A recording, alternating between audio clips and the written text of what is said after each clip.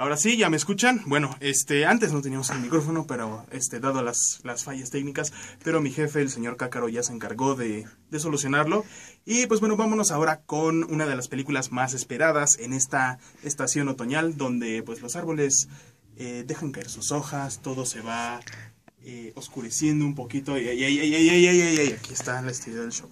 No, no estamos grabando los árboles, no es National Geographic.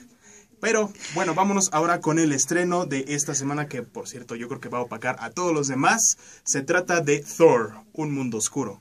Esta es la secuela de la primera entrega de la saga del superhéroe mitológico Thor, que pues fue dada en el 2011, su primera entrega, dirigida por Kenneth Branagh, y ahora pues no repite esta vez, sino pues está con nosotros el cineasta Alan Taylor, que pues es de, de hecho su debut en la pantalla grande tras haber dirigido algunos episodios de la gran serie Game of Thrones, de la cual yo soy un fanático personal.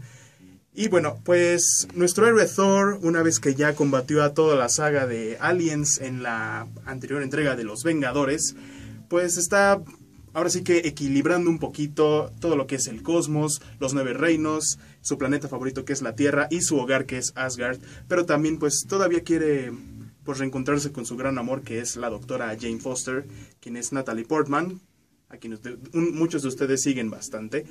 Pero bueno, la una de las fuerzas que amenaza con terminar con esta apacible paz y tranquilidad y volver todo a la oscuridad como en los tiempos antiguos, eh, pues es una raza oscura encabezada por el diabólico Malekith, quien es un quien es un e- enemigo que ni Thor, ni Odín, ni todos los dioses, ni todos los guerreros de Asgard pueden combatir. Así que Thor buscará otra vez pues la la fuerza interior, buscará otra vez aliarse con sus viejos amigos y también un peligroso aliado que ustedes recordarán y todos ustedes también idolizarán después de la primera entrega de Thor y de Avengers.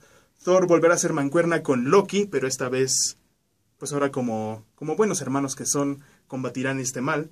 Pero pues Loki, como todos sabemos, pues no es siempre lo que aparenta, sus intenciones siempre como que son un, un vaivén de pues emociones positivas, negativas. Y por qué no, Loki también es un personajazo a quien todos esperamos ver de nuevo.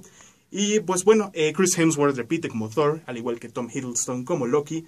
También tenemos otra vez a Anthony Hopkins y Rene Russo como los papás de Thor. Y también tenemos a Idris Elba como el guardián del portal de Asgard. Eh, ya se acuerdan del, del puente que es como un arcoíris resplandeciente y todo, shalala. Y pues bueno, también eh, les recuerdo que también está Natalie Portman, a quien ya mencioné como Jane Foster. Y pues bueno, esta es un poquito la transición que quieren hacer los de Marvel a pues tramas y, y tonos mucho más oscuros. También eh, si pueden, si ya pudieron ver el trailer de Capitán América 2, Captain America The Winter Soldier, verán que pues ahorita ya no están tan, tan festivos los superhéroes. Uno pensaría que como Disney se apropió de la franquicia iba a ser todo canciones y baile y magia y shalala, shalala, shalala, pero no, estos superhéroes pues van a seguir un poquito en el tramo de lo que es pues la, la saga de Batman que anteriormente nos trajo Christopher Nolan en tonos y matices mucho más oscuros y pues mucho más exploración del personaje y pues todas las, todo lo que es las ambigüedades del bien y el mal. Pero pues basta de todas estas palabrerías. Vámonos a ver el electrizante trailer de Thor, Un Mundo Oscuro.